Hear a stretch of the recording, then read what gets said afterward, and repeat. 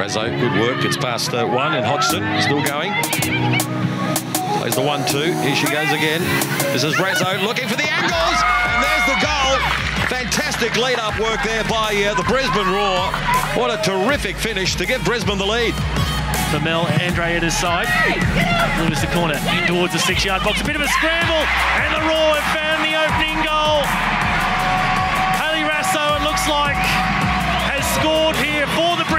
score